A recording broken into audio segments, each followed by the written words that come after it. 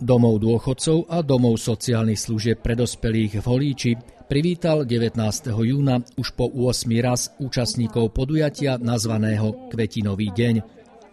Pozvánku na tradičné podujatie prijali ako hostia podpredseda Trnárskeho samozprávneho kraja a primátor Holíča Zdenko Čambal i vedúci oddelenia školstva, sociálnych vecí a zdravotníctva František Janeček.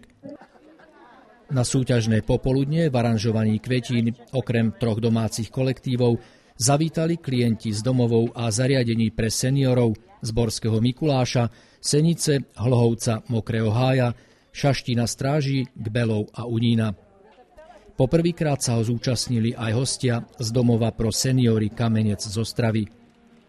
Svoje zručnosti predviedli aj tri kolektívy z domáceho zariadenia, 5. domov, prístavba a druhý domov. Na rozdiel od predchádzajúceho roku klienti mali tento raz za úlohu pripraviť aranžmán podľa fotografickej predlohy, ktorú si jednotlivé družstvá vyžrebovali. Časový limit organizátori nestanovili. Dôležité bolo, aby klienti svoje dielo čo najviac priblížili danému vzoru, k čomu mohli použiť aj kus vlastnej fantázie.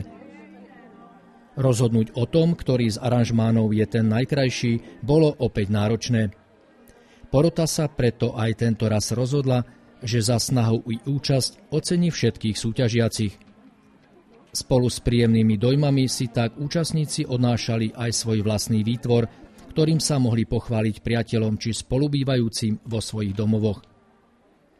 Kvetinový deň v Holíckom domove dôchodcov sa každoročne stretáva s veľkým záujmom a obľubou. Organizátori preto už teraz pripravujú jeho budúcoročné pokračovanie.